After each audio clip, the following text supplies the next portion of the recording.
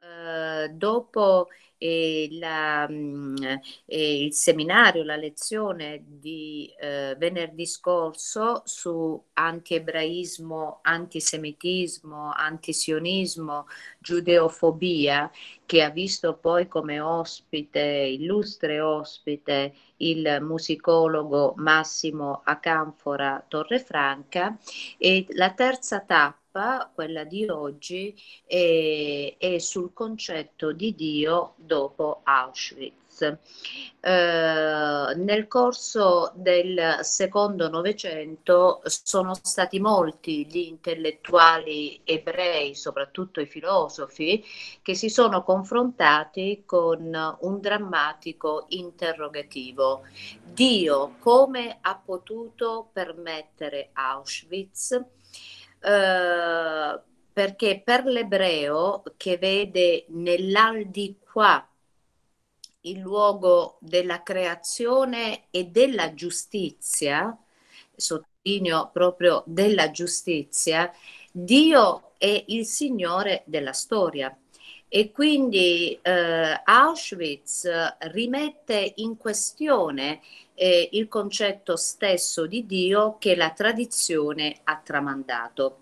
Eh, quindi chi non intende rimuovere il concetto di Dio eh, deve pensare però questo concetto in modo del tutto nuovo.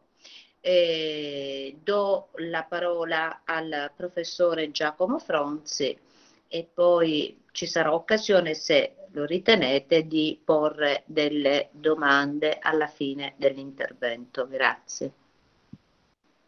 Grazie Preside e ancora buonasera a tutti, ai colleghi e ai ragazzi. Purtroppo anche questa volta, Preside, come, come la scorsa, eh, devo prima un attimo chiudere i conti con, con, la puntata precedente perché appunto, come ricorderete, eh, a un certo punto ci siamo interrotti per dare spazio a, a Massimo Canfratore Franca tra l'altro credo che sia stato davvero molto interessante la presenza di sì, eh, molto. Eh, l'altro giorno, perché appunto abbiamo sentito una voce autorevole, una voce da, dal di dentro, dal, dall'interno di quel mondo, quindi credo che sia stato davvero molto utile. Ecco, ricorderete che ci siamo arrestati qui, ci siamo fermati qui quando stavamo cercando di capire eh, di, di, darci, di dare storicamente una risposta al perché gli ebrei siano stati sempre eh, demonizzati, perché eh, nel corso della storia ci sono stati, eh, come dire, a, a, a ripetizione momenti nei quali gli ebrei sono stati oggetto di persecuzione. E, e, e ci eravamo fermati in, a questo passaggio eh, dall'Anticristo di Renan del 1873. Ecco, io mh, davvero cercherò di essere quanto più rapido possibile, ma capite bene che la, le lezioni che avevo preparato erano in vista appunto di, di incontri in presenza anche un po' più lunghi, quindi diciamo che devo un po' adeguarmi, eh, ma comunque sia, tenete conto ragazzi che siamo già d'accordo con, con la vostra dirigente, eh, metteremo poi a disposizione le, le, le, cinque presentazioni, quindi con tutte le slide, eh, dopo che le avrò riguardate un attimo, eh, in modo tale che poi possiate anche rivedervele, riguardarvele, insomma, se vorrete, e studiarle eventualmente con, con calma. Dunque, eravamo arrivati, eravamo rimasti qui. Succede poi qualcosa. Eh, questo, questa, so, questa sorta di eh, questa idea degli ebrei in qualche modo responsabili delle loro stesse sventure e quindi della giudeofobia eh, che nascerebbe, si configurerebbe come una sorta di eh, reazione eh, anti-ebraica e quindi avrebbe un carattere difensivo, ecco questa idea ritorna poi eh, nel Novecento con le conseguenze, gli esiti eh, drammatici e unici nella storia dell'umanità che ben conosciamo. E, eh, e ovviamente qui arriviamo al, al, nazismo e a Hitler. Io vi prego di ricordare sempre quello che ci siamo detti la scorsa volta, cioè che ehm, Auschwitz, i campi di sterminio, rappresentano eh, l'ultima, anzi no, neppure, neppure l'ultima, ma direi una, la più tragica, la più drammatica, la più impensabile nelle sue proporzioni, eh, una delle tappe di questo percorso, eh, come abbiamo visto, plurisecolare, che ha visto gli ebrei oggetto di persecuzione. Quindi non è un caso isolato nella storia, ma il peggiore, ma uno dei casi eh, persecuzione e eh, di sterminio, in questo caso degli ebrei.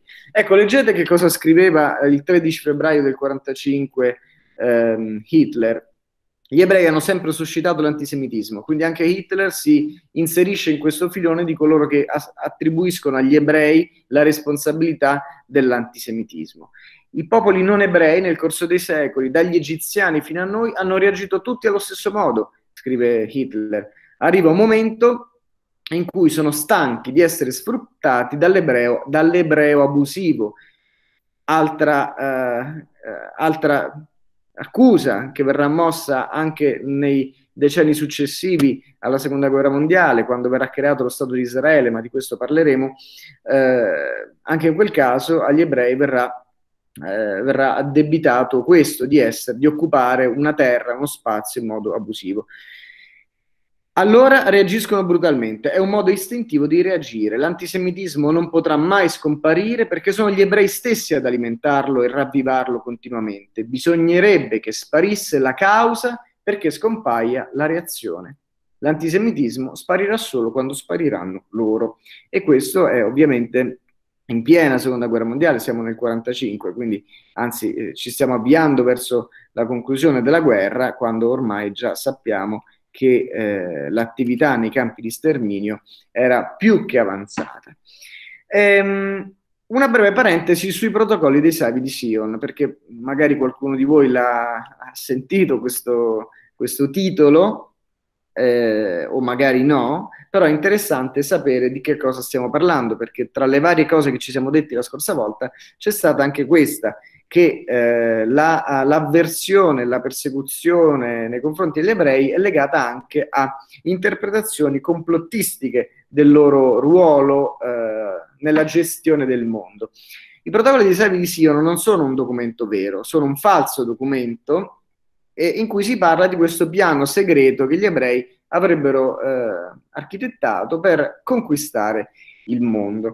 Ed è nel 1903 che inizia a circolare una pubblicazione delle Centurie Nere, che era un gruppo di eh, destra ultranazionalista russo, ehm, ed è presentato appunto come fosse un verbale, un verbale redatto in occasione di questa ipotetica, fantomatica riunione dei Savi di Sion. Quindi questi Savi di Sion si sarebbero riuniti e in una di queste riunioni eh, sarebbe stato redatto questo, questo, verbale e il verbale sarebbe appunto poi diventato famoso con il nome Protocolli dei Savi di Sion. E in realtà è un collage di plagi da testi vari, eh, tutti ovviamente eh, dal carattere fortemente antisemita, e che la, i poliziotti russi, la polizia russa, quindi siamo in Russia, eh, non in Germania, ha creato per giustificare la persecuzione degli ebrei. Pensate che fino agli anni 10 la circolazione del, del libro resta eh, all'interno dei confini russi, ma dopo la prima guerra mondiale inizia a circolare in altre aree d'Europa, fino agli Stati Uniti, dove addirittura Henry Ford, il Ford delle, delle, delle auto per capirci, ne fa stampare mezzo milione di copie. Pochi anni dopo, nel 21, il quotidiano Times dimostra che si tratta di un documento falso, ma ovviamente c'è chi continuerà, voi sapete che le fake news, anche quando vengono smascherate, continuano ad avere, ad avere vita, eh, a volte anche lunga vita. Ecco, i protocolli di Sion sono una enorme fake news che eh, ha continuato eh, a eh, perpetrare i propri, i propri, le proprie conseguenze negative anche dopo che il il, il Times eh, rivelò e dimostrò la, eh, la non autenticità di questo documento. Ecco, questi sono i protocolli dei Savi di Sion. Avevo messo qui appunto eh, l'indice e giusto per darvi un'idea, eh, questi sono alcune, sono alcune delle cose che sono scritte in questo, eh, in questo fantomatico testo. Il nostro trionfo è stato reso più facile dal fatto che nelle nostre relazioni con gli uomini abbiamo sempre lavorato sulle corde più sensibili della mente umana, sull'argomento del denaro, sulla cupidigia, sull'insaziabilità dei bisogni materiali dell'uomo e ognuna di queste debolezze umane, presa da sola, è sufficiente a paralizzare l'iniziativa, perché consegna la volontà degli uomini a disposizione di chi ha comprato le sue attività. Ma eh, queste, non vi leggo adesso tutto perché appunto poi magari ve le leggete da voi, perché dobbiamo andare un po' rapidamente. Che cosa succede? Succede che nel 23, mh, nella, uh, in occasione della pubblicazione della terza edizione eh, dei protocolli di Savi di Sion, eh, nella postfazione quest'uomo che vedete in foto, Alfred Rosenberg, eh, definisce in qualche modo l'ebreo e lo definisce anche a partire da una vera e propria lotta mortale che si colloca nella, nella storia dell'uomo tra l'ebreo e l'ariano. E potete leggere che cosa scrive Rosenberg. Nella nostra storia l'ebreo si erge come nostro avversario metafisico.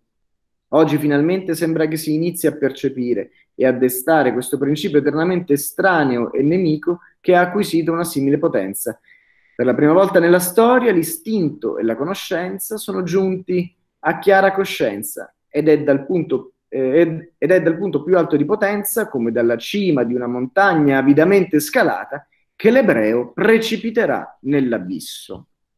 Anno 1923.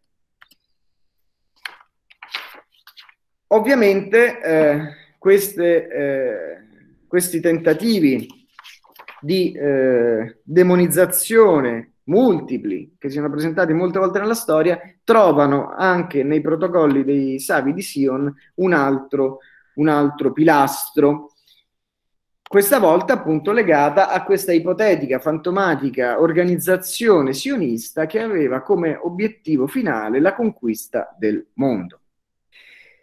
Io ehm, farei così, andrei ancora un po' avanti rispetto a questo che state vedendo adesso, le dimensioni della giudeofobia, eh, anche perché in parte alcune di queste cose le abbiamo già dette, e eh, andrei rapidamente alla, eh, alla, parte che più ci avvicina, e cioè alla, ehm, al nazismo. Dunque, Scusatemi se, se, salto, ma ripeto, poi avrete modo di, di riguardare con calma tutto questo. Ecco, anche i miti antiebraici eh, eh sarebbero da, da, da, da, sottolineare perché sono alcuni delle, eh, appunto, vengono definiti miti antiebraici non perché siano delle cose eh, positive, eh, al contrario, ma perché sono delle idee che si sono consolidate nel corso del tempo, nel corso dei secoli e che hanno eh, appunto un, hanno avuto una tale eh, capacità di penetrazione nelle società, nelle culture, nelle comunità da diventare, eh, da consolidarsi e diventare, configurarsi quasi come dei miti. L'odio verso il genere umano, l'assassinio e il cannibalismo rituali, il deicidio, cioè gli ebrei sarebbero al contempo assassini di Cristo e figli del demonio, la maledizione dell'eterna erranza legata al fatto di aver rifiutato Cristo. Come vedete c'è eh, anche qui una cozzaglia di, di elementi che mescolano eh, questioni religiose con questioni più genericamente, eh, come dire, antropologiche. Eh, queste sono alcune, appunto, alcuni dei miti antiebraici che si consolidano nel tempo e che confluiscono drammaticamente poi nella eh, nell'ideologia nazionalsocialista. Um, prima della seconda guerra mondiale, arriviamo all'ebreicidio quindi, i più radicali ideologi nazisti oscillavano tra due soluzioni, non erano ancora convinti di che cosa farne di tutti questi milioni di ebrei. Che facciamo? Li cacciamo in massa o li sterminiamo? E già nel Mein Kampf, eh, sapete il libretto che Hitler scrive mentre è in, in prigione, aveva fatto riferimento a possibili, potenziali uccisioni di massa. Nel 27 Himmler, che vedete qui in fotografia, Heinrich Himmler, che era di fatto il, il numero due era il ministro dell'interno, il numero due di Hitler, è colui che ha effettivamente, praticamente ideato e organizzato lo sterminio in massa, eh, resta folgorato letteralmente da un passaggio che legge nel eh, libretto di, eh, di, Hitler. Ecco il Mein Kampf. E scrive Hitler, se all'inizio, nel corso della guerra, 12 o 15 mila di questi ebrei corruttori del popolo fossero stati esposti una sola volta ai gas tossici che centinaia di migliaia dei nostri migliori lavoratori tedeschi di ogni provenienza e professione hanno dovuto, su, dovuto subire al, sul fronte, il sacrificio di milioni di uomini non sarebbe stato vano. Al contrario, se ci si fosse sbarazzati per tempo di qualche migliaio di canaglie, si sarebbe forse salvata l'esistenza di un milione di buoni e bravi tedeschi pieni di avvenire come se fossero soltanto i tedeschi a essere degni di un avvenire e non qualsiasi essere umano. Ecco, um, a quanto pare all'inizio eh, il regime mh, non aveva pensato, nonostante queste deliranti parole di Hitler, non pensava effettivamente di organizzare uno sterminio, ma di spaventare gli ebrei e di cercare in qualche modo di indurli alla emigrazione. Tuttavia Hitler, eh, da quando prende il potere, quindi siamo all'inizio degli anni 30, sost- inizia a sostenere l'idea di un antisemitismo della ragione, quindi di un antisemitismo che doveva essere suffragato, su- supportato dalla ragione, dalla teoria, se vogliamo anche, ed ecco il motivo per il quale anche Hitler si rifà a quella eh, non, non corta ma lunga serie di testi, di pubblicazioni, di articoli di saggi, di libri, alcuni dei quali abbiamo anche citato, che sono datati eh, secondo 800, ecco, fare appello alla ragione per dare forza a un antisemitismo che risolvesse la questione ebraica. E questo antisemitismo della ragione non si limitava alla messa al bando degli ebrei, non si limitava, non si sarebbe potuto accontentare di vedere gli ebrei uscire dalla terra, dal sacro dal sacro suolo tedesco, ma implicava la loro eliminazione sistematica. E quindi l'obiettivo era quello di rendere la Germania, per dirlo appunto in tedesco, Judenrein, cioè ripulita dagli ebrei, oppure Judenfrei, libera dagli ebrei. E a partire dal 1937 le, eh, le SS, le squadre di protezione, iniziano a ipotizzare un, eh, prima di appunto organizzare effettivamente lo sterminio, iniziano a ipotizzare uno spostamento in massa degli ebrei, addirittura pensando a una riserva ebraica da, eh, da realizzare in Madagascar.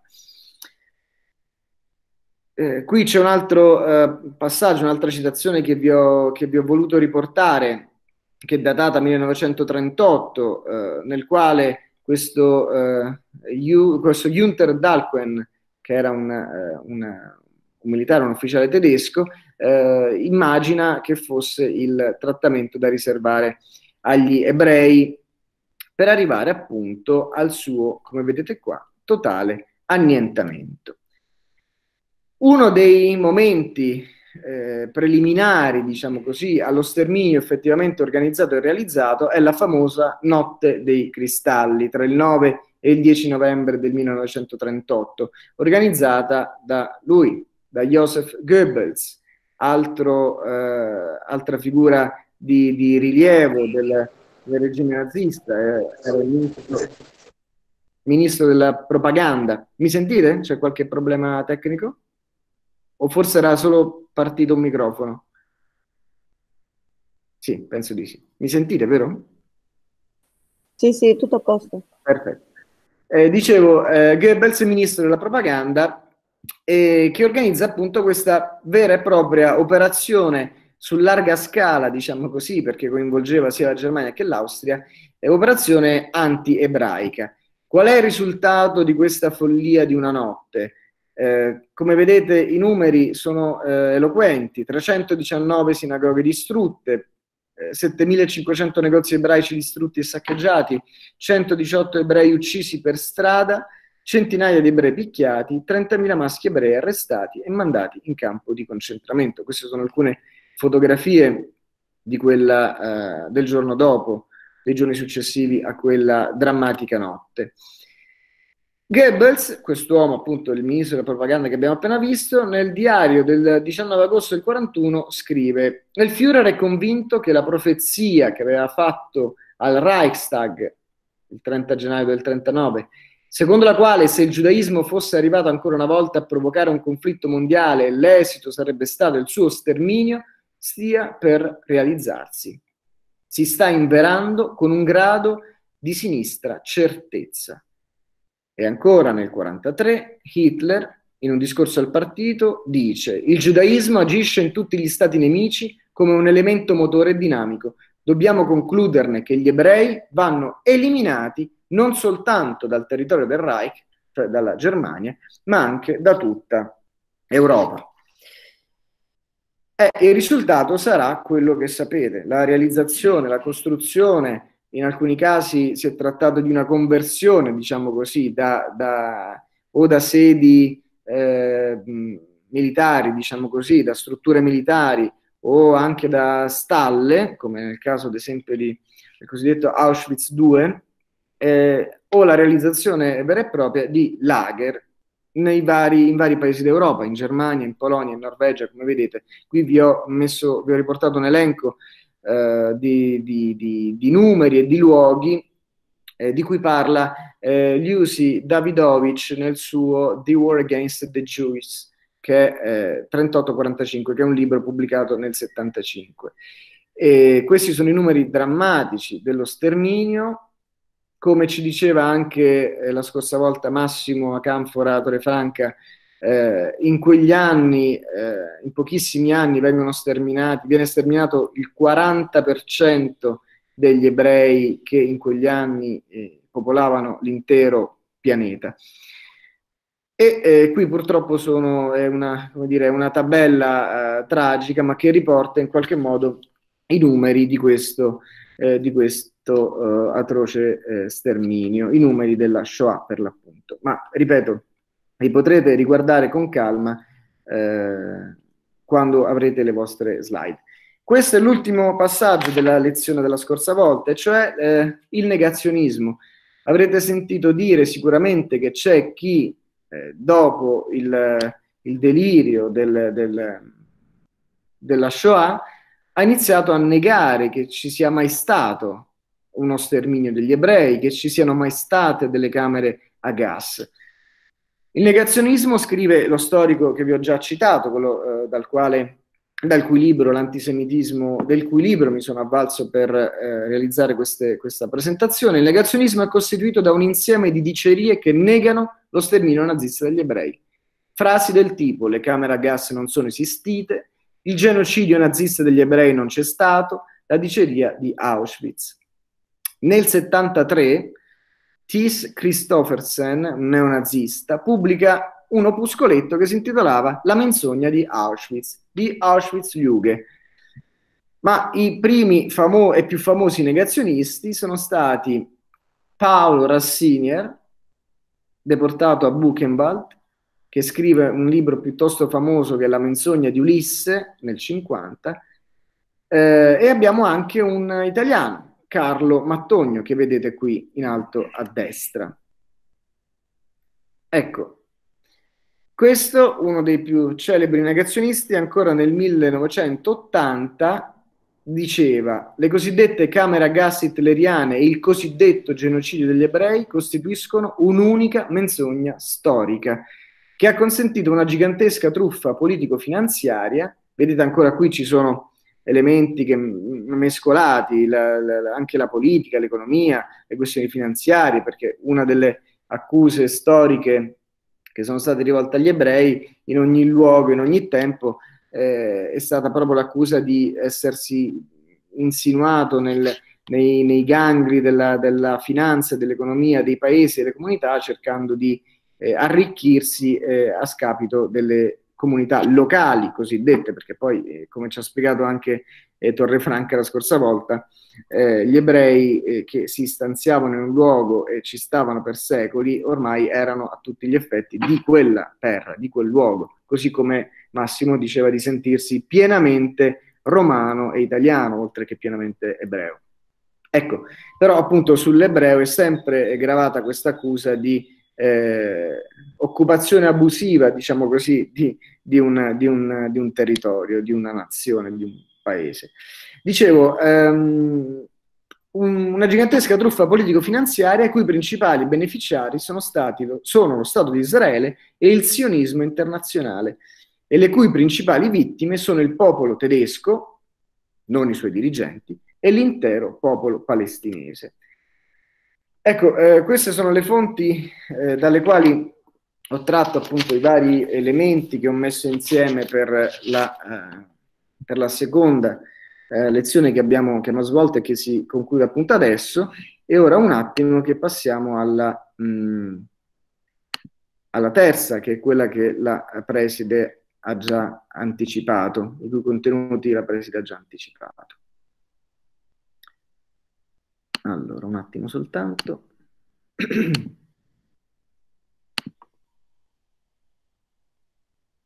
Ecco qui. Il concetto di Dio dopo Auschwitz, che come vedremo, eh, che come vedremo è il titolo di un, di un, di un libro. Um, come è stato detto già in apertura dalla preside, eh, nel caso degli, degli ebrei, eh, sia dei credenti che dei non credenti, si è posto questo interrogativo enorme, tragico, eh, per alcuni lacerante, straziante, di come abbia potuto Dio permettere Auschwitz, come Dio ha potuto eh, lasciare che nel mondo si realizzasse, si organizzasse e si realizzasse un omicidio amministrato. Questo ha condotto, ha portato molti ebrei, ebrei eh, diciamo così, comuni, persone comuni, ma anche filosofi e teologi, a ripensare radicalmente, anche radicalmente, Dio.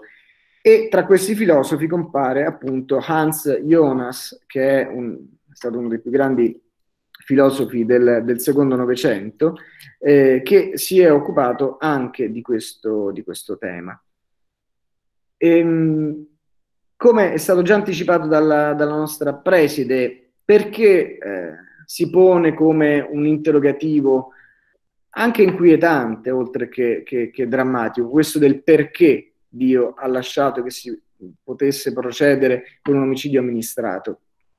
Non soltanto perché fu proprio l'antico popolo dell'alleanza, scrive Jonas, e non un altro ad affrontare il destino dell'annientamento totale con il falso pretesto della razza, ma anche perché, a differenza del cristiano, che proietta la salvezza nell'aldilà, come ci diceva anche prima la preside, per l'ebreo che vede nella storia, nell'aldilà, il luogo della creazione, il luogo della giustizia, il luogo della salvezza divina, Dio in modo eminente il Signore della storia. E quindi, e quindi se Dio per l'ebreo è il Signore della storia, se la, eh, la presenza in qualche modo di Dio si verifica, si materializza nell'aldilà, nella storia, eh, nella, nella, nella vita, e allora Auschwitz rimette in questione il concetto di Dio per come è stato tramandato dalla tradizione. Capite bene quindi come, come sia stato uno shock, l'ha definito forse proprio così eh, a Campo, oratore Franca, la scorsa volta, eh, è stato uno shock non soltanto per i numeri di questa, di questa tragedia, ma anche per le conseguenze di, di tipo eh, religioso, che appunto per gli ebrei eh, rappresentavano un elemento eh, davvero eh, come dire, costitutivo della loro, della, della loro stessa esistenza. Ecco, eh, naturalmente la questione che noi stiamo ponendo è legata anche in qualche modo, in maniera sia indiretta che indiretta, alle vicende di Primo Levi eh, Primo Levi, il quale, come abbiamo già detto più volte, ce lo ricordava anche eh, Massimo la scorsa volta, non era un, un ebreo un credente o praticante, ehm, si ritrovava in una posizione comune a molti altri ebrei, altri ebrei soprattutto eh, piemontesi, che era una posizione di, di, come dire, di un ebraismo mh, mm, neutro per certi aspetti, dal punto di vista eh, religioso, teologico. E, ehm, due autori eh, che hanno contribuito alla realizzazione di quel volume sulle lezioni di Primo Levi hanno eh, utilizzato una mh, bella espressione eh, rispetto alla voce del sacro in Primo Levi, definendola fioca e un po' profana. Fioca e un po' profana sono appunto i due aggettivi che Cavaglione e Valabrega utilizzano per riferirsi al, alla presenza, alla voce del sacro in Levi, che mi sembrava una, eh, un testo, di questi due autori, eh, molto interessante per le questioni che, che stiamo affrontando. Perché eh, questi due aggettivi, fioca e un po' profana? Perché sono aggettivi questi che ritornano nella, uh, nelle pagine di, di, Primo Levi. Fioca, ad esempio, è la voce eh, di Leonardo De Benedetti, che si ritrova, una figura che si ritrova in pagine sparse, un uomo coraggioso e mite, che era l'amico di una vita, che non si levava mai con aggressività ed eccesso di energia, ma in modo tranquillo, eh, mite, sommesso. Ecco perché la sua voce era una voce fioca. Profano invece è colui che non è uno specialista, colui che si avvicina a qualcosa non da esperto con il bagaglio, gli strumenti e l'occhio dell'esperto, ma con la curiosità del, di colui che è inesperto, appunto che è curioso, che si avvicina a qualcosa senza essere uno specialista e eh, in qualche modo lo fa da, uh, da dilettante, ma da dilettante eh, curioso, incuriosito. E allora appunto questi due aggettivi, fioca un po' profana, eh, possono essere utilizzati, questi aggettivi, in riferimento alla, a come eh, Levi intende o il sacro, eh, sulla base del rapporto che ha avuto con, con il sacro. Ecco, e loro appunto sostengono che Fioca un po' profana è la voce di Levi quando si confronta con la scrittura sacra, con le tradizioni del suo popolo, del popolo ebraico, del quale prende coscienza, come vi abbiamo, abbiamo già detto più volte, prenderà coscienza davvero, per davvero, quando verrà deportato. Perché? Perché verrà deportato non in quanto primo Levi, ma in quanto ebreo. Ovviamente le avvisaglie già c'erano state, come sapete, con le leggi razziali, abbiamo fatto quella, quella, quella rapida eh, sintesi eh, su questo punto, quindi già da allora gli ebrei hanno iniziato a prendere coscienza del loro essere ebrei e, e quindi per le leggi razziali diversi è da, è da cacciare, ma naturalmente l'esperienza della deportazione sarà eh, uno spartiacque essenziale, fondamentale, non solo per Levi, ma per tutti coloro che appunto all'improvviso da una vita pienamente integrata nel tessuto sociale, politico, culturale, intellettuale, formativo, scolastico italiano, si sono visti appunto strappati via dalla loro quotidianità, dalle proprie relazioni, dai propri affetti, per essere deportati in quanto ebrei. A differenza di quanto eh, solitamente si è fatto nella lezione dedicata a questo tema, i due autori che vi ho citato propongono eh, una lettura un po' particolare, interessante del rapporto tra Levi e il sacro, quello dello sguardo profano sul sacro. E lo sguardo profano è quello appunto del, di colui che è inesperto, lo abbiamo detto prima, eh, ma non è ancora quello dell'ateo, non è neanche quello dell'abituale frequentatore del tempio, di colui che assiduamente eh, e con costanza e con convinzione segue le indicazioni che la sua religione eh, prescrive. E quindi eh, Levi non si può, l'idea che può aver avuto Levi del sacro non è quella che eh, poteva avere appunto un ebreo praticante per intenderci e quindi non è relativa alla, alla religione in senso tradizionale o alla liturgia o al rito o alle scadenze, alle festività, alle quali sono appunto legati gli ebrei e praticanti. Tuttavia, tuttavia l'aggettivo sacro non coincide in Levi con la religione ebraica. Sacro, eh, la, la, dimensione del sacro, della sacralità, ha a che fare con l'umanità, con l'essere umano, cioè con l'appartenere dell'uomo al genere umano, all'umanità. E infatti Levi in pagine sparse scrive che l'uomo è, deve essere sacro all'uomo dovunque e sempre. Un po' come Kant che ci diceva che eh, l'uomo deve essere considerato un fine, non un mezzo, un fine per gli altri uomini, quindi un fine in sé, eh, in se stesso, per se stesso. Ecco, allo stesso modo l'uomo deve essere considerato sacro agli altri uomini, dovunque e sempre. E il sacro prevede sempre, anche per uno scienziato, per un chimico, qualche forma di ritualità. Ad esempio, scrive Levi in pagine sparse, il chimico alla sera, quando disegna la formula di scrittura della molecola che domani dovrà costruire, compie lo stesso rito propiziatorio del cacciatore di Altamira che 50.000 anni fa disegnava sulle pareti delle caverne l'alce o il bisonte che il giorno dopo avrebbe dovuto abbattere per appropriarsene, far suo l'antagonista. Gesti sacrali, ambedue. Ma ecco, per quanto riguarda eh, questo rapporto tra Levi e il sacro, eh, un momento particolare e, e, come vedremo anche interessante dal punto di vista, se vogliamo, anche filologico, è, ehm, è cioè una che significa eh, ascolta in ebraico, eh, che è di fatto una preghiera, è una preghiera che si ritrova nella Bibbia ebraica e che eh, Levi in qualche modo recupera, riprende e la colloca all'inizio di Se questo è un uomo.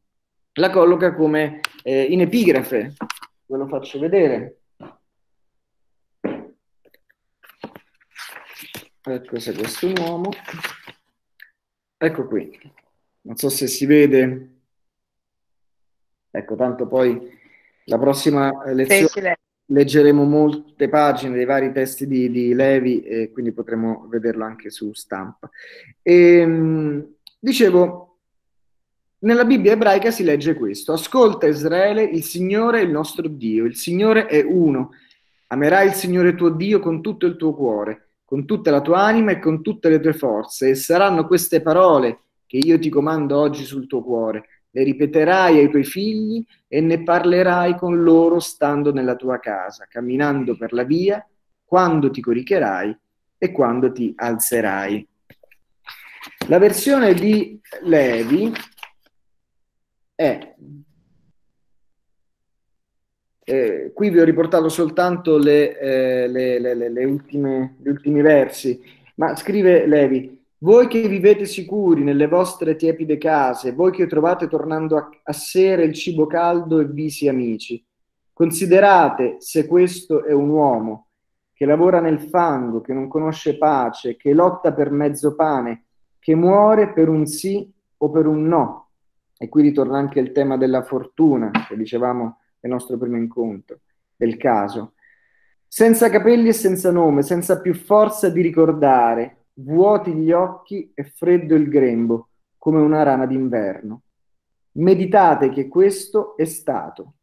Vi comando, ed ecco in qualche modo l'imperativo, l'ammonimento che richiama la preghiera eh, ebraica, vi comando queste parole, scolpitele nel vostro cuore, stando in casa, andando per via, esattamente come si legge nella Bibbia, camminando per la via, coricandovi, alzandovi, ripetetele ai vostri figli, o vi si sfaccia, eh, o vi si sfaccia la casa, la malattia vi impedisca, i vostri nati torcano il viso da voi.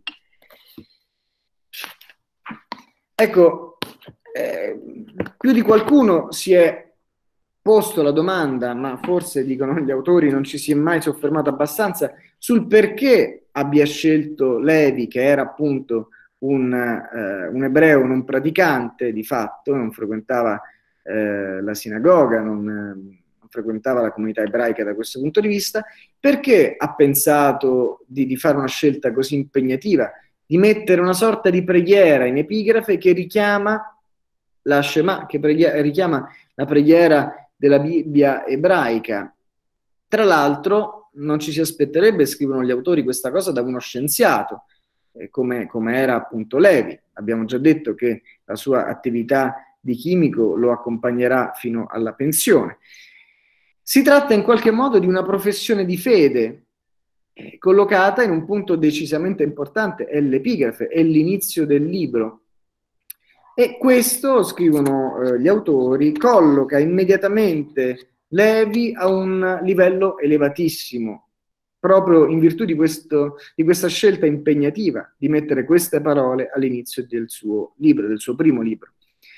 Però non avrà lunga durata questa adesione all'ebraismo, perché alla fine del, 50, del 59 Levi, eh, comunicando con il traduttore tedesco, perché come ricorderete, eh, Se questo è un uomo a un certo punto inizia a essere tradotto in diverse altre lingue, tra cui anche il tedesco, um, Heinz Ritt è il traduttore, era il traduttore del, di Se questo uomo, ecco, gli scrive e gli chiede Guarda Heinz, per favore sostituisci Shema con un'altra poesia, sempre di Levi, eh, che era del 45 e si intitolava, il, si intitola Il canto del corvo ed è questa qui.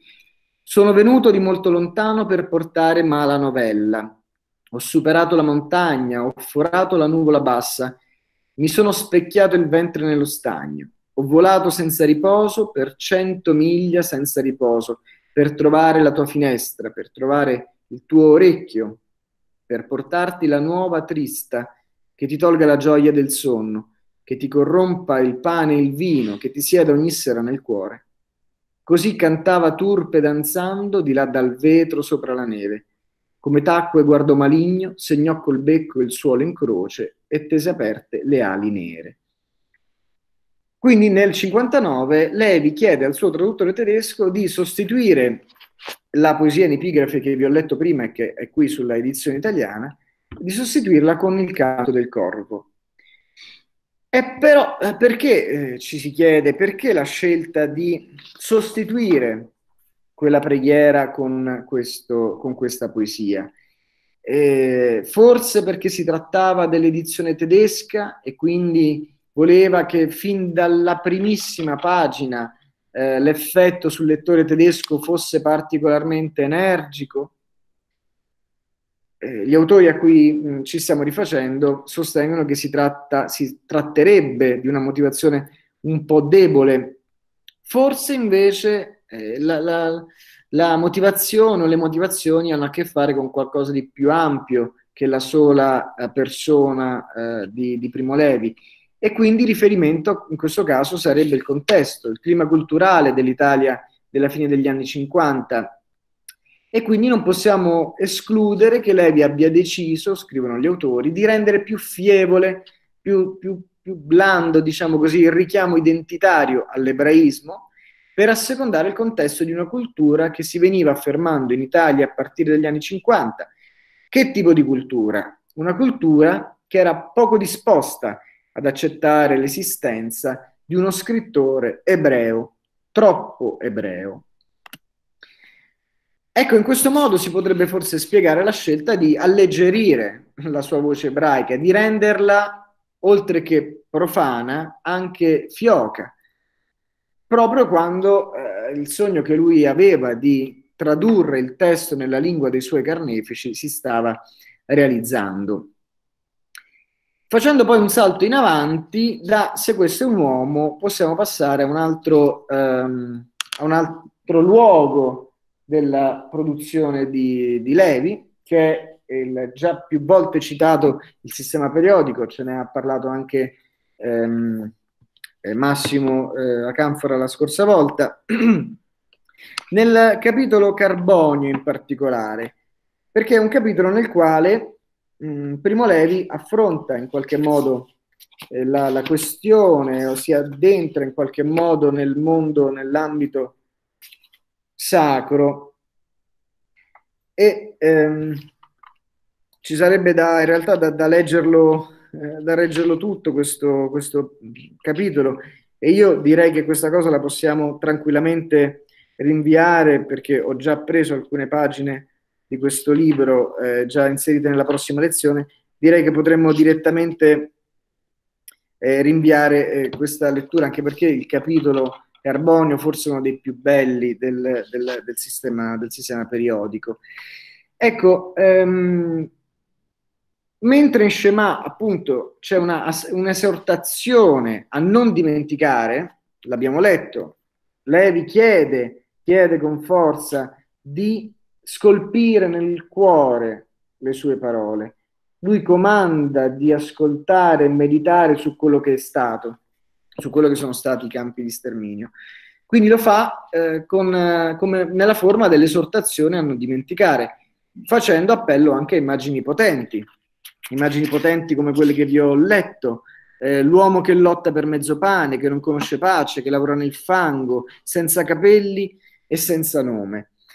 In Carbonio la questione viene affrontata invece in modo più rassicurante, sarà perché eh, il tempo è trascorso, sarà perché inizia a guardare con un certo distacco analitico eh, al, al, suo passato.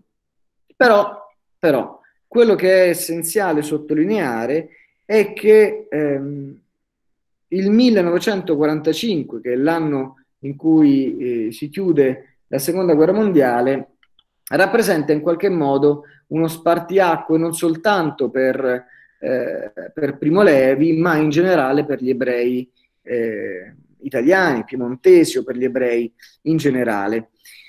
Eh, come dicevamo, fino al 1945, per la sua origine, la sua cultura, come per la maggior parte degli ebrei piemontesi, Levi non era stato né un sionista né un antisionista, ma era stato un asionista eh, guardava al sionismo, eh, l'abbiamo detto, alla religione, alla, religi- alla religione del suo popolo, con eh, lo sguardo di colui, dell'osservatore, in qualche modo, dell'osservatore esterno, e non frequentava eh, in, particolare i gruppi più vicini alla pratica religiosa. E questa forma di asionismo, come vi dicevo, è condivisa da molti altri intellettuali o ebrei mh, piemontesi, Ve ne ho messi qui tre, tra i più famosi, Vittorio Foa, Carlo Levi e Rita Levi Montalcini, tutti e tre intellettuali, eh, beh, Rita Levi Montalcini è scienziata, e tutti ebrei nati a Torino, che condividevano questo, eh, questa forma di, eh, di, ebraismo che era un asionismo. Ecco, però perché dicevamo prima e dopo il 45? Perché dal 45, sì, finisce la guerra, ma poi negli anni successivi, dalla Costituzione dello Stato eh, di Israele, che avviene, come sapete, nel 47, in poi ci saranno tutta una serie di eventi storici che in qualche modo segneranno eh, un, un, cambiamento di rotta, un cambiamento di atteggiamento nei confronti del, di Israele e, e dell'ebraismo. E, ehm, dopo la guerra Levi continuerà a rimanere un ebreo della, della diaspora, però appunto cambierà via via il suo atteggiamento nei confronti di Israele. Quella terra rappresentava, scrive, per i sopravvissuti allo sterminio l'unico luogo dove ricominciare a vivere, ma anche il laboratorio di un socialismo libero da dogmi politici o religiosi. Ecco, che cosa succede nei, nei decenni successivi? Io vi ho indicato quattro tappe essenziali che hanno influito non solo sulla storia di Israele, ma in generale degli ebrei nel mondo. Nel 67 la guerra dei sei giorni, la, le Olimpiadi di Monaco del 72, la guerra del Kippur del 73 e la crisi del Libano nell'82. E qui eh, apriamo inevitabilmente, necessariamente, un'altra parentesi di tipo storico, diciamo così, come abbiamo già fatto, perché è importante per capire, ripeto, la situazione del popolo ebraico che si mescola in parte al, eh, all'antisionismo eh, di cui abbiamo parlato nella, nell'altra lezione, perché ovviamente la posizione, chiamiamola così, degli ebrei, del popolo ebraico nella storia, ha a che fare con il modo in cui quel popolo è stato vissuto eh, o, ha a che fare con le forme di, delle relazioni con quel popolo le forme storiche delle relazioni con quel popolo, insomma quello di cui abbiamo parlato fino adesso, ma ha a che fare anche con il modo in cui gli ebrei hanno iniziato a guardare loro stessi, a ripensarsi. Che cosa succede? Facciamo un piccolo passo indietro eh, negli anni della prima guerra mondiale. 1916 cade l'impero ottomano, Francia e Gran Bretagna eh, si dividono eh, le zone di, di, di, influenza di tutta l'area compresa tra la Turchia e la penisola arabica, lo vedete nella, nella cartina. Alla Francia sarebbero toccati, vedete, i territori in, in blu, la Siria e il Libano, alla Gran Bretagna la Mesopotamia, che sarebbe l'Iraq e la Palestina. Vedete eh, la zona in, in rosso.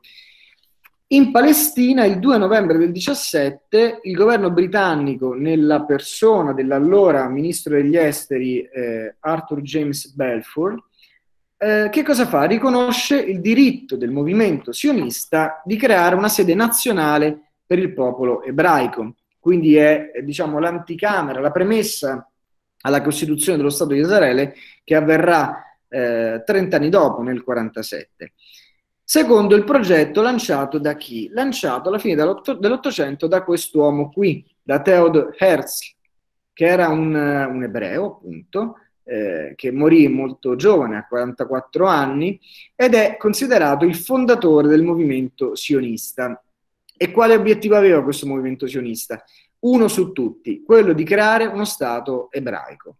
Uno Stato ebraico nel quale gli ebrei sarebbero potuti ritornare, che è poi appunto quello che avverrà a metà del Novecento, eh, un territorio, un, uno Stato appunto nel quale eh, gli ebrei di tutto il mondo... Eh, ci siete? Sì, eh, Giacomo, sentiamo, stiamo okay, seguendo. Ok, gli ebrei di tutto il mondo potessero eh, ritornare, tornare, ritornare per sfuggire alle persecuzioni. E siamo alla fine del, dell'Ottocento. Lo Stato ebraico, che è un libro che scrive nel 1896, qualche anno prima di morire, eh, lui, Herzl, pone la questione eh, degli ebrei eh, sotto la luce, diciamo, della, eh, sotto, la luce, sotto una luce politica, istituzionale. È una questione politica, storica, che va affrontata e risolta da tutti deve essere una, un carico, diciamo così, che le nazioni dovrebbero assumersi. E che cosa fa? Organizza, dopo l'uscita di questo libro, un congresso mondiale nel 1897 e diventa il primo presidente, come fondatore, appunto, dell'Organizzazione Mondiale Sionista. Morirà appunto nel 1904 senza eh, vedere realizzato il suo sogno, che appunto, come abbiamo già ripetuto, mh, si realizzerà nel 1947 però appunto rimarrà uno dei, delle voci, eh, uno degli ispiratori di, eh, delle politiche eh, sioniste che avevano appunto come obiettivo quello della costituzione dello Stato di Israele. Ecco, eh, con la dichiarazione, eh, con la cosiddetta dichiarazione Balfour, perché è così che verrà ehm, chiamata da allora in poi, vengono salvaguardati i diritti civili e religiosi, attenzione, non ancora politici, mh, hm, civili e religiosi delle comunità non ebraiche e viene legittimata l'immigrazione sionista, che così inizia a, uh, a produrre che cosa? Dei piccoli parziali rientri di comunità ebraiche sparse per il mondo in quella, in quella zona. Ma già all'inizio degli anni venti iniziano uh, gli scontri tra i coloni ebrei e i residenti arabi quello che vedete qui è eh, il, um, la prima pagina del Palestine Post in cui si eh, annuncia la nascita dello Stato di Israele. Nel 1945 in Palestina gli ebrei erano 550.000 e gli arabi erano 1.250.000. Eh, dopo la creazione dello Stato di Israele le tensioni eh, continueranno ad aumentare nel maggio del 48 ci sarà la prima guerra arabo-israeliana che durerà per mh, otto mesi circa, insomma fino al gennaio del 49 e che si concluderà con la totale disfatta del, degli eserciti arabi che erano rispetto a quello ehm, israeliano mal equipaggiato e mal coordinato. E arriviamo appunto alla guerra dei sei giorni del 1967. Il Medio Oriente è un, un focolaio, una zona di tensione permanente, come purtroppo lo sapete anche voi eh, ancora adesso, a causa del conflitto appunto tra Israele e, le, eh, e i popoli e le comunità arabe della zona. Che cosa succede nel 67? Il leader egiziano Gamal Abdel Nasser proclama la chiusura del golfo di Aqaba, che è questo qui, leggete Golfo di Aqaba, che era una, uh, un, uno snodo importante, molto importante per uh, gli approvvigionamenti israeliani. Israele è qui, quindi se tu mi chiudi il Golfo è evidente che crei delle difficoltà enormi per l'approvvigionamento via, uh, via mare. E lo fa questo leader egiziano stringendo un patto militare con la Giordania, che è qui, a destra, che confina con, con Israele. Israele che cosa fa? Gli israeliani rispondono eh, con un attacco militare preventivo il 5 giugno del 67, al quale seguono sei giorni di conflitto. Anche in questo caso il risultato per gli arabi fu disastroso perché già nelle prime ore tutta l'aviazione, eh, l'aviazione egiziana quasi integralmente verrà distrutta prima ancora che riuscisse a eh, decollare. Che cosa succede subito dopo? Che l'Egitto perde... Oh, scusatemi. Volevo ritornare un attimo alla cartina. Ecco, l'Egitto è qui.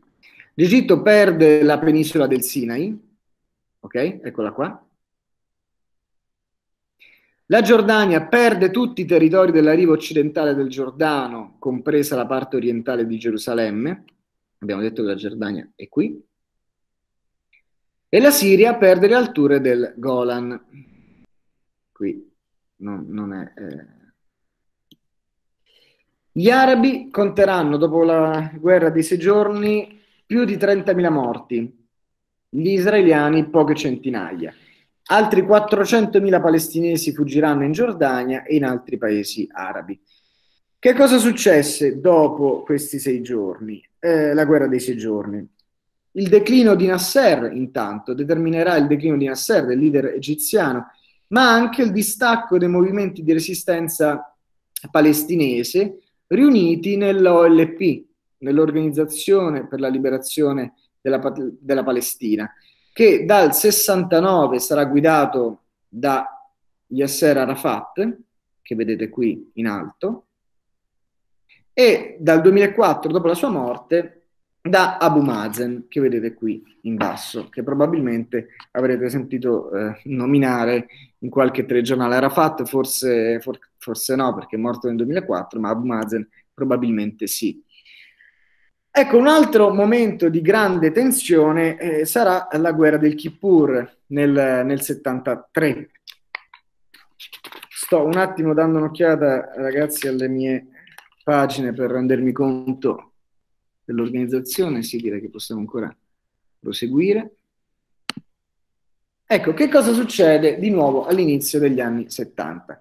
Nasser, che comunque dopo la guerra dei sei giorni in qualche modo ehm, dal punto di vista politico si era bruciato, muore e gli succede Sadat, che eh, vorrebbe dare alla politica eh, egiziana, soprattutto alla politica estera, ma anche a quella interna, un'impronta che fosse meno ideologica e più, e più realistica. Qual era l'obiettivo, uno degli obiettivi che si poneva dal punto di vista della politica, scusate, della politica estera? Quello di recuperare il Sinai. E lo vuole fare però inizialmente ehm, con una certa attenzione e anche magari con uh, un confronto con Israele. Il 6 ottobre del 73, che è un giorno di festa per gli ebrei, la festa dello Yom Kippur, truppe egiziane attaccano le forze israeliane sul canale di Suez, dilagando nel Sinai. Vi faccio un attimo rivedere rapidamente la cartina. Vedete? Il Sinai, la penisola del Sinai, che dopo la guerra dei sei giorni l'Egitto aveva perso. Ecco, um, contemporaneamente truppe siriane attaccano il Golan, Israele, ancora una volta, si vede in qualche modo attaccato, accerchiato, e pur essendo stato di sorpre- colto di sorpresa, risponde all'attacco e passa alla controffensiva. Penetra in territorio egiziano, poi intervengono anche gli Stati Uniti che cercano di mediare tra le parti e si giunge a un cessate il fuoco che eh, in qualche modo eh, rappresenterà una sorta di pareggio, diciamo così, sulla carta, un'assenza di vincitori e di vinti, ma in realtà le conseguenze eh, a livello internazionale furono gravi. E perché? Quali furono queste conseguenze? La chiusura del canale di Suez per due anni e il blocco petrolifero decretato dagli stati arabi contro i paesi occidentali che erano considerati amici di Israele, primo fra tutti gli Stati Uniti. Che cosa verrà fuori dalla famosa crisi del petrolifero del 73? Una delle più gravi crisi economiche mondiali. Generalmente quando si fa una storia, diciamo così, delle crisi economiche dal 20, da quella del 29 in poi, una di quelle che si cita puntualmente è esattamente questa successiva alla, uh, al 73. Un altro eh, momento di grandissima tensione, non so, magari mh, mm, questo fatto l'avete conosciuto per altre, per altre vie, un altro momento di grande tensione sarà rappresentato dal sequestro eh, operato da un gruppo terroristico palestinese durante le Olimpiadi di Monaco del 72, quindi l'anno prima. Siamo al 5 settembre del 72 è l'undicesimo giorno delle Olimpiadi e appunto un gruppo terroristico, questa foto non è una ricostruzione, è una delle poche foto che si riescono a trovare di quel, eh, del gruppo, di uno dei componenti del, del gruppo terroristico, fa irruzione eh, negli alloggi eh, dove si trovava la squadra olimpica israeliana. Due atleti vengono subito uccisi, e altri nove vengono presi in ostaggio e resteranno in ostaggio per quasi uh, un giorno intero. Questo gruppo terroristico si chiamava Settembre Nero e eh, come spesso è accaduto, eh, questo fatto, questa, questa, questa azione terroristica era, aveva, prevedeva una contropartita che doveva essere il rilascio, la liberazione di alcuni prigionieri che erano chiusi, reclusi nelle carceri israeliane poco più di 200, 234 prigionieri, ma anche eh, chiedevano ai terroristi il rilascio di due terroristi tedeschi di estrema sinistra detenuti in Germania. Succede però che le trattative vanno avanti in maniera eh, disordinata, in maniera lenta, con, poca, eh, con poco coordinamento. Come richiesto dal comando, gli stessi terroristi, i nove atleti eh, tenuti in ostaggio, vengono trasferiti in elicottero eh, in un vicino aeroporto e lì poi sarebbero dovuti decollare per raggiungere eh, il Medio Oriente. Ma eh, il piano della polizia che voleva in qualche modo colpire gli attentatori nel passaggio dall'elicottero all'aereo fallisce. Eh, scoppierà eh, una sparatoria e l'esito sarà drammatico perché moriranno cinque terroristi, il pilota eh, dell'elicottero, un poliziotto tedesco e tutti gli atleti israeliani. Capite bene che eh, questo fatto del 72 e poi il fatto del 73 e poi quello che stiamo per dire, la crisi del libro dell'82, capite bene come eh, su quella, sulla storia di quel pezzo uh, di, di, di, globo gravi nei decenni, eh, gravino su quel territorio motivi di, di tensione eh, fortissimi. Ecco perché quando oggi sentite ancora eh, nei telegiornali alta tensione tra palestinesi e israeliani, oppure sentite di un missile sparato dai palestinesi verso Israele o una risposta di Israele verso la Palestina, insomma tutta questa situazione di attuale fibrillazione costante e di difficoltà esistenziale, perché se non ricordo male lo ha accennato anche eh, Massimo Canfora che ha vissuto in Israele per molti anni, forse anche un figlio che vive lì, se non ricordo male, o comunque amici che vivono lì. In effetti si vive quasi alla giornata eh, in Israele, perché effettivamente non sai mai eh, che cosa può succedere di lì a poche, a poche ore o a pochi minuti. Ecco, mh, se eh, qualora non aveste approfondito prima di, di, oggi, prima di questi giorni, le vicende che hanno caratterizzato la, scuola, la, la storia di quel territorio, ecco, eh, questo è un momento eh, forse utile. Dicevamo crisi del Libano. eh, come ci si arriva? L'abbiamo già detto. 47 Costituzione dello Stato di Israele, tensioni alle stelle tra israeliani e palestinesi, guerra dei sei giorni, eh, sequestro eh, durante le Olimpiadi del 72, guerra del Kippur.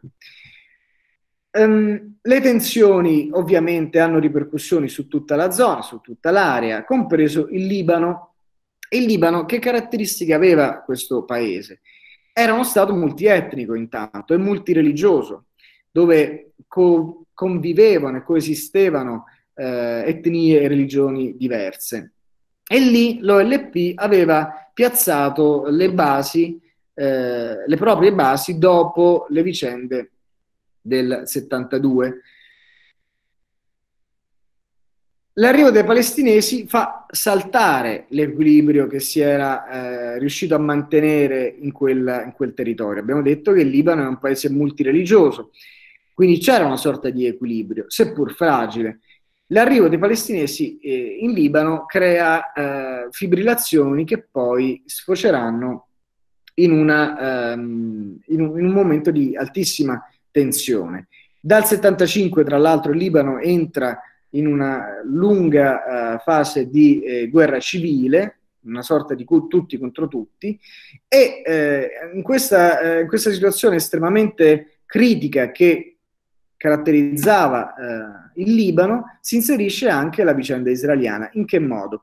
Perché nell'estate dell'82 Israele invade il Libano perché? perché voleva smantellare eh, l'OLP che aveva piazzato appunto le proprie basi lì, in Libano. Quindi aveva intenzione di sradicare il, eh, l'OLP dal Libano.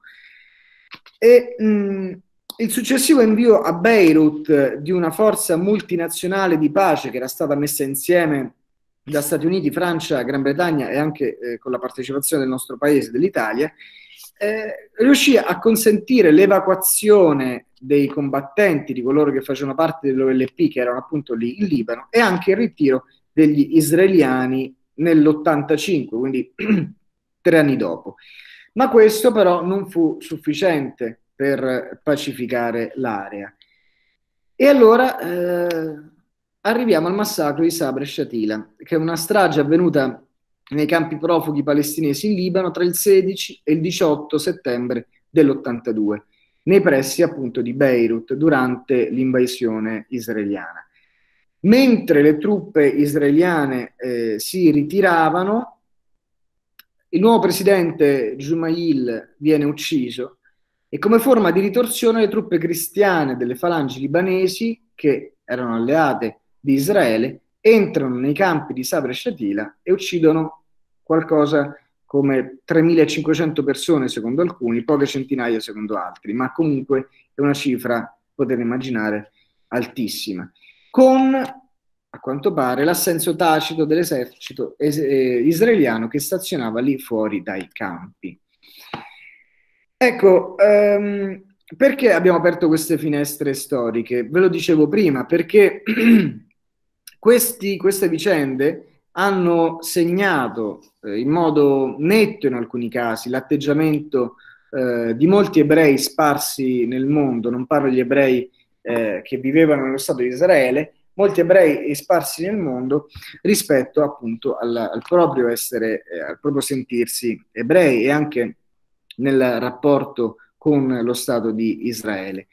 Ehm, non muta Prima di aprire queste finestre storiche dicevamo, come leggete, come l'atteggiamento più protettivo e paterno di Levi nei confronti dello Stato di Israele, che emerge dal 47-48, non muta con il succedersi degli eventi drammatici a cui abbiamo fatto riferimento.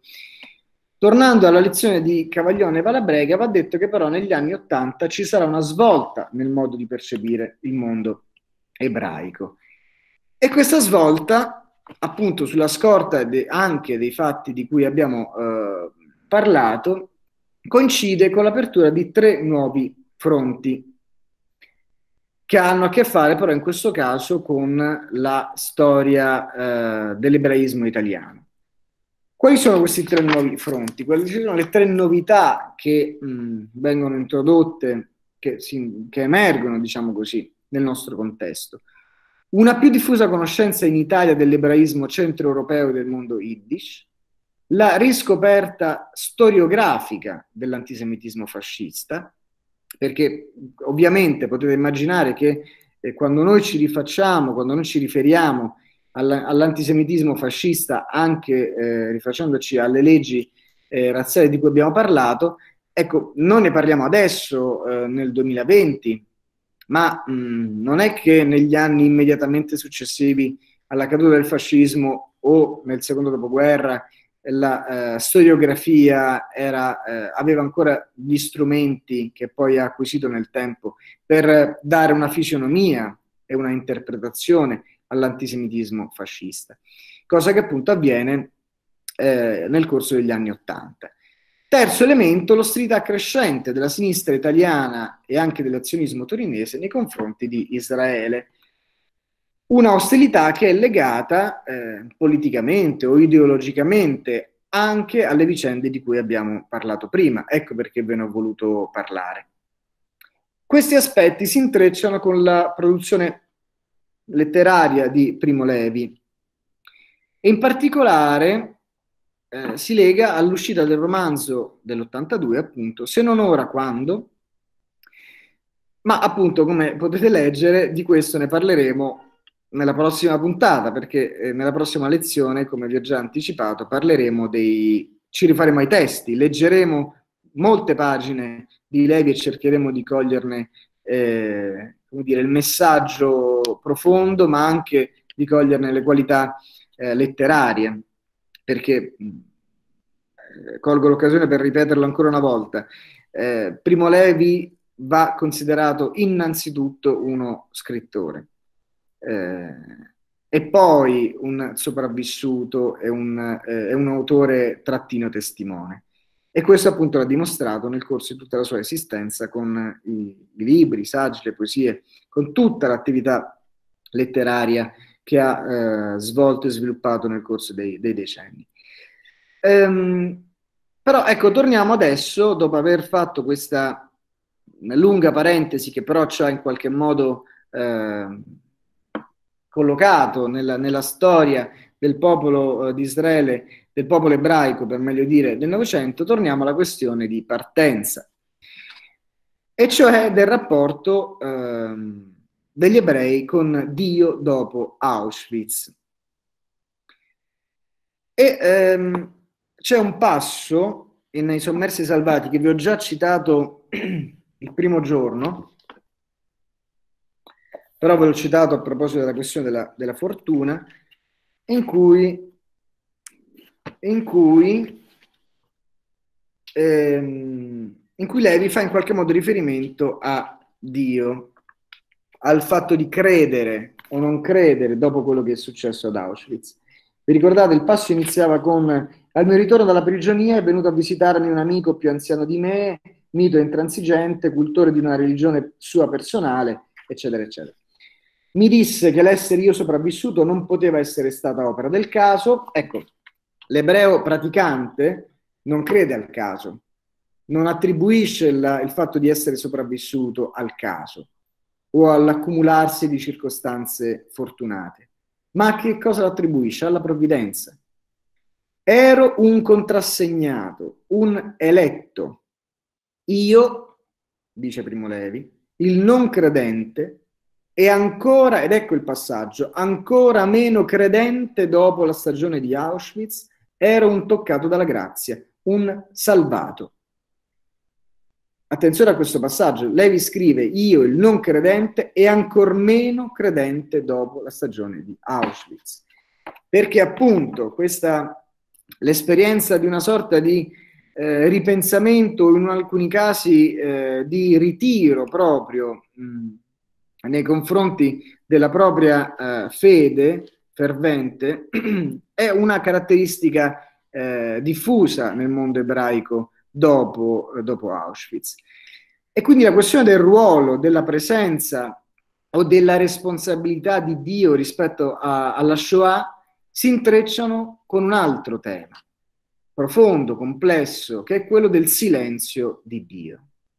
La inattività, ma anche il silenzio di Dio. È come se per molti di loro a un certo punto Dio fosse rimasto, oltre che eh, inattivo anche in silenzio. Ma Dio allora va considerato un'entità personale o impersonale? Perché quello di cui stiamo parlando, l'azione o la non azione, la parola oppure il silenzio, eh, fanno riferimento o danno, come dire, per scontata l'idea di Dio inteso come un'entità personale.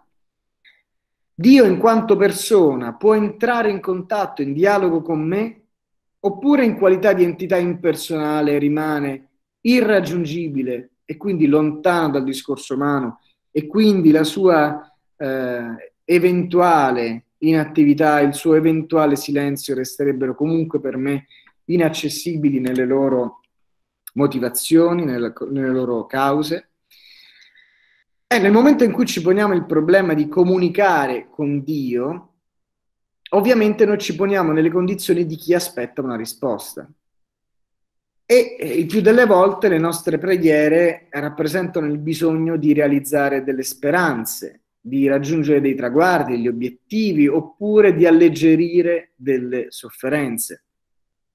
In fondo, spesso si prega anche per questo, si prega per cercare conforto nella preghiera e per cercare di attivare un canale comunicativo con, con Dio.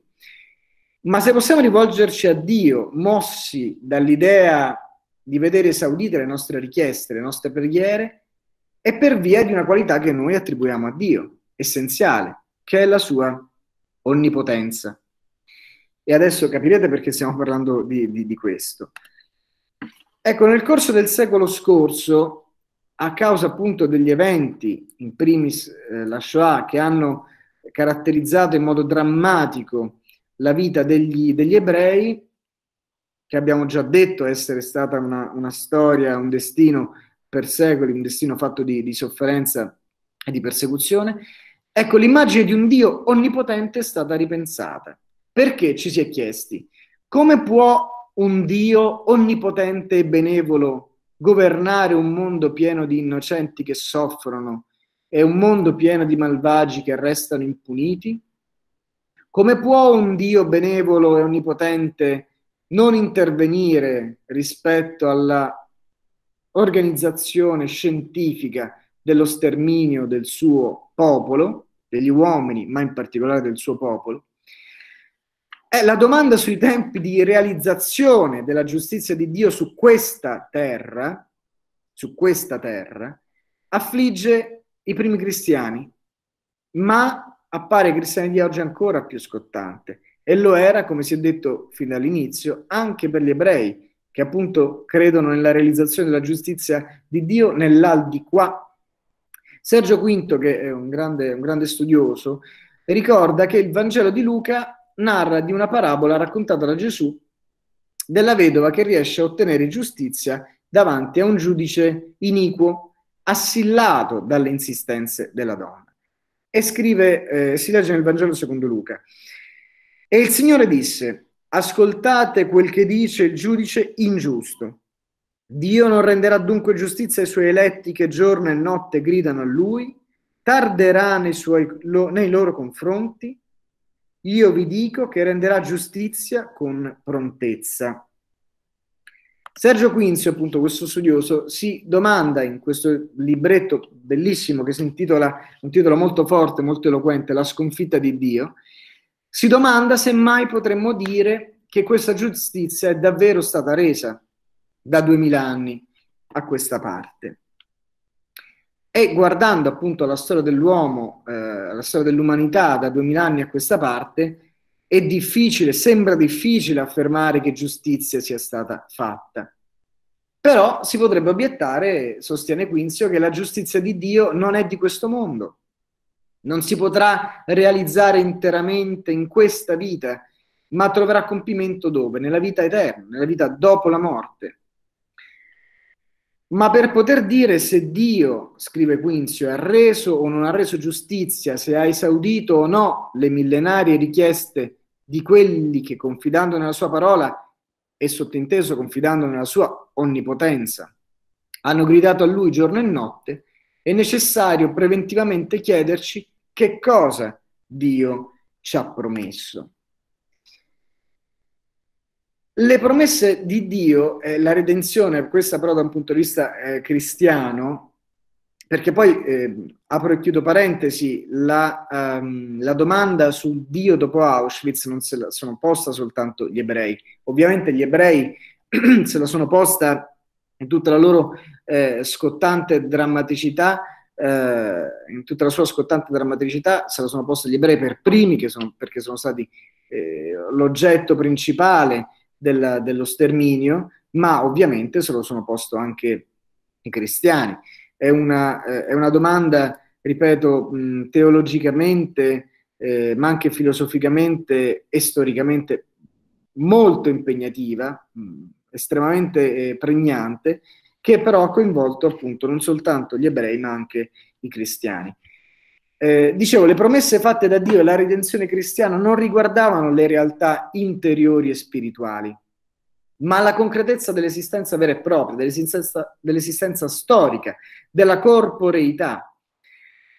E se le promesse di Dio sono fatte alla carne, la carne non può che esigerne, ovviamente, l'immediato compimento. E le sacre scritture, scrive Quinzio, sono ricche di riferimenti a sofferenze concrete e a speranze ugualmente concrete. Ad esempio nel libro di Giobbe, in cui tutto il discorso è costruito sullo scandalo della sofferenza e di una sofferenza che consiste anzitutto in una sofferenza materiale che ha a che fare con la vita vera, e cioè con la perdita dei beni, dei figli, della salute. Eh, Preside, io ho quasi finito, vogliamo, vado avanti o diamo la parola ai ragazzi? E, eh, no, penso che possiamo avviarci alla conclusione e poi magari riprendere anche il, mm, il discorso dopo, visto insomma che eh, sì, un'ora e mezza insomma di lezione. Se ci sono raga- eh, domande da parte dei ragazzi? Perché mm, resterebbero una mm, decina ancora di... Sì, sì, sì, lo facciamo, lo facciamo. Ci sono domande ragazzi? No, possiamo continuare. Ecco, um, sempre seguendo in qualche modo la, le argomentazioni di, di Quinzio, secondo Sergio Quinzio, una lettura eh, erronea eh, dei testi sacri che si è fatta in relazione a questo tema qui, delle promesse di Dio, dell'eventuale realizzazione delle richieste fatte a Dio, della loro eventuale realizzazione in questa storia, in questa vita e concretamente, oppure in un'altra vita e, non concretamente? Ecco, tutte queste domande e l'interpretazione della realtà materiale come allegoria delle realtà spirituali ha comportato per Quincio una distorsione per la quale l'anima è stata contrapposta al corpo e lo spirito è stato contrapposto alla materia. L'aldilà è stato contrapposto all'aldilà potremmo dire. Questa distinzione non era presente alle origini cristiane. Alla carne, attenzione a questa frase, alla carne è promessa la vita senza fine. Questa, questa, questa frase a noi sembrerebbe assurda, perché noi se dovessimo immaginare, se dovessimo pensare alla vita senza fine, penseremmo al massimo alla nostra anima, per esempio, a una vita spirituale dopo la morte, ma non penseremo alla carne. Alla carne invece, alle origini cristiane, è promessa la vita senza fine. E in un passo della lettera ai Romani di San Paolo, io ve lo consiglio, a me è capitato un po' di anni fa di occuparmi di queste questioni dal punto di vista filosofico e quindi ho comprato le lettere di San Paolo, me le sono lette e sono qualcosa di strepitoso. Quindi vi consiglio che crediate o meno, che siate credenti o non credenti, vi consiglio di leggere alcune di queste cose, di, di questo tipo di letteratura, perché sono testi eh, strepitosi. Ecco, in un passo della lettera ai Romani, San Paolo è stato dichiarato oscuro per sfuggire eh, alla radicalità dei suoi contenuti. Da questo passo che cosa viene fuori? Viene fuori l'idea di una creazione che è sottomessa alla caducità, di una creazione che attende di essere liberata dalla corruzione, di una creazione inaspettatamente che geme, che soffre. Perché dico inaspettatamente? Perché parlare di creazione che geme e che soffre rinvia che cosa? L'idea di un Dio che è anch'egli sofferente e quindi non onnipotente, perché un Dio onnipotente non potrebbe essere un Dio sofferente. L'idea della sofferenza di Dio implica, scrive Peter Berger, che è un altro eh, filosofo importante che si è molto occupato di queste questioni, eh, l'idea della sofferenza di Dio implica una temporanea limitazione della sua onnipotenza. Come si potrebbe pensare, in effetti, a un Dio onnipotente che allo stesso tempo soffre? Eh, Preside, io probabilmente mi fermerei qui su questo punto, perché altrimenti eh, rischiamo di sforare troppo, eh, e finirei la prossima, la prossima volta in modo da magari collegare anche questo discorso direttamente a se questo è un uomo. Gra- sì, eh, ci sono domande da parte degli studenti, dei ragazzi, delle ragazze o dei docenti? Anche perché queste questioni mi rendo conto che sono un po' complesse, quindi sì. quindi magari eh, lasciamo un attimo respirare in qualche modo eh, i ragazzi e poi... Eh, sì, sì sono, sono, sono, questioni complesse, però credo che insomma eh, si sia compresa la, no, la, la linea di pensiero. E, e, qui sicuramente ci sarebbero no, una serie di, di, di, osservazioni da fare su quest'ultimo e io ho trovato molto interessante la ricostruzione storica, politica eh, per, comprendere, per comprendere il Novecento, insomma e comprendere anche le, eh, la, questione, la questione palestinese e i conflitti ancora presenti in Medio Oriente. E devo dire che... A questioni religiose, politiche, geopolitiche. Eh, geopolitiche, certo. Devo dire che e poi negli ultimi anni, nonostante i problemi siano lì risolti, eh, sono meno presenti nelle cronache di tutti i giorni, eh, cosa invece che avveniva spessissimo eh, negli anni 80 e negli anni 90, no? Eh, perché eh, infatti noi diciamo che nella nostra mh, giovinezza, parlo di me, dei, dei docenti, eh, l'abbiamo, l'abbiamo, vissuta quasi quotidianamente. No? Eh, ora l'equilibrio diciamo, rimane sempre precario ma è come se si fosse negli ultimi anni stabilita una sorta di, eh, di tregua, almeno con riferimento ai conflitti sanguinosi che hanno caratterizzato gli anni 80 e 90. E, però la ricostruzione storica che tu hai fatto, veramente... Mh, eh, importante, secondo me andrebbe ripresa per comprendere anche quel periodo della storia contemporanea che spesso nelle scuole viene per una serie di motivi eh, eh, diciamo trascurato, sì, sì, sì, trascurato.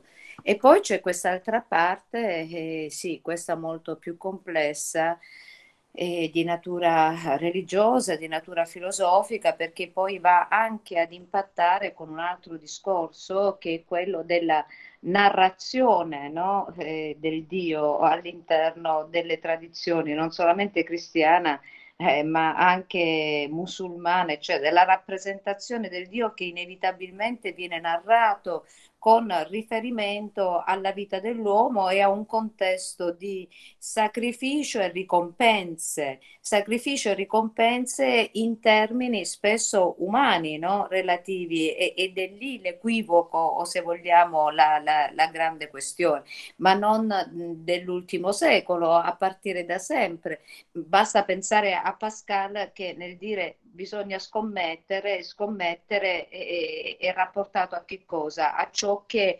l'individuo personalmente può eh, ottenere come ricompensa, no? E quindi vabbè.